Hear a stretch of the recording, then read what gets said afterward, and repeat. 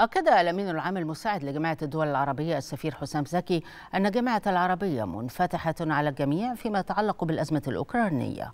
وأوضح أن كلمة وزير الخارجية الروسي سيرجي لافروف أمام مجلس الجامعة العربية جاءت بطلب من موسكو مشيرا إلى أن الباب مفتوح أمام الجانب الأوكراني إذا كان يريد توضيح بعض الأمور فيما يتعلق بالأزمة. يهمني هنا أن أوضح أنه